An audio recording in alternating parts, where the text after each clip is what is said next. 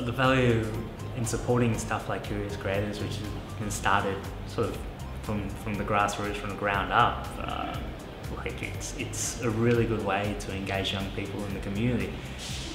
I guess uh, something like Curious Creators is hitting the nail on the head where like you engage young people by giving them um, tangible skills and transferable skills. Um, not only, I guess, engages young people for a temporary amount of time, but links them up to that more uh, long-term mentorship with like um, with goals in mind uh, to work towards.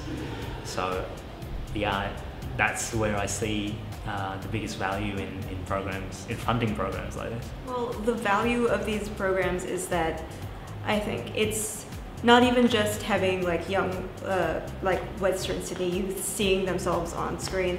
It's being able to tell your own stories. It's giving them the tools to know that, like you and who you are, you can be shown to the world, and you will have, and people will recognize you and see the value in you. And I think that, especially with the way the Australian uh, media industry is right now, when people think of Australia, they just think of they think of beaches and they might think of kangaroos, but they don't really see Western Sydney and they don't see us. And if they do see us, it's through things like Struggle Street, which is created through people who haven't lived here, the people who live in the area. So it sort of gives that power back to us to tell our own stories. I'll, first off and foremost, I would like to say thank you very, very much.